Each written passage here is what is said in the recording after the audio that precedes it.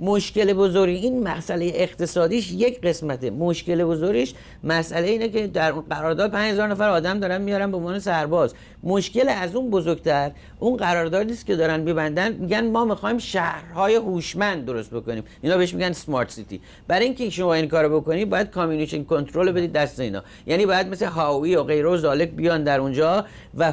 5G اون سیستم اینترنتی اون خطرناکتر از اون چیز کوتاه مدت خیلی